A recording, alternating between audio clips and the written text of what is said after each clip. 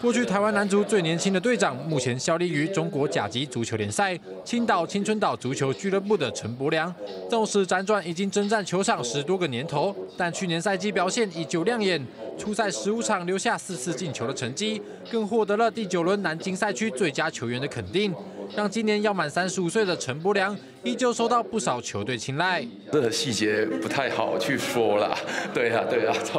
对呀，但是就是会有两年以上，有其他球队来跟我招手，但其实对于运动员来说，最重要的是在场上踢比赛。对，所以这也是我一个考量的一个范围。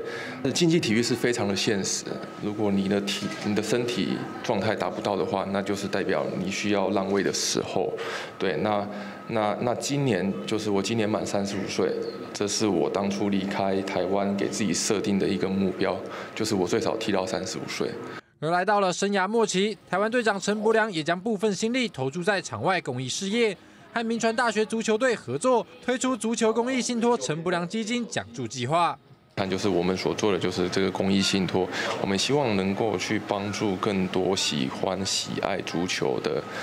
的人有完成他自己心里的一个梦想吧，因为毕竟我也是这么走出来的，对啊，所以这我觉得这是公益信托是一个非常有意义的一件事情，这样子。对，作为台湾足坛代表性的球员之一，陈柏良将自身影响力带到了球场之外，帮助那些跟他一样深爱着足球运动的年轻球员们，并为国内足球发展尽一份心力。华体育台采访报道。